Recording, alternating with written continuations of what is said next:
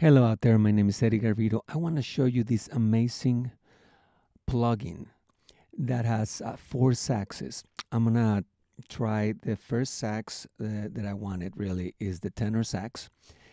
And uh, I made a little track so you can see how it sounds.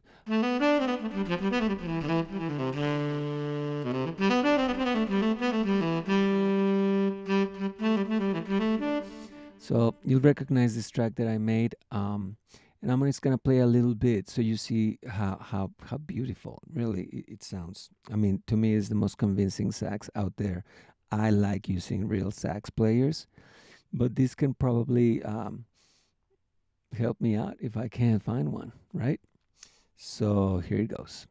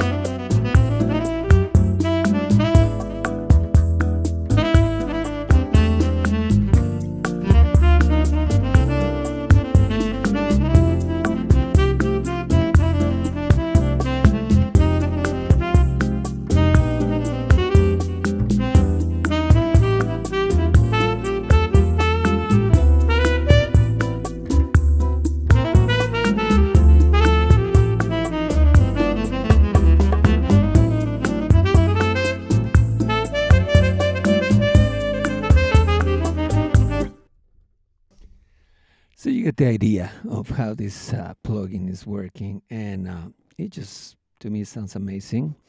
Uh, will it replace a sax player? Probably not. Will it get you?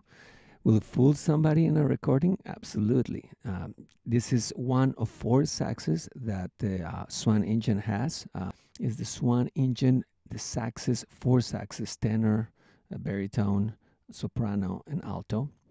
Of course, this is the tenor sax. I really do recommend it. I am blown away by how um, this sax sounds. I usually hate the stock sounds of, of any keyboard.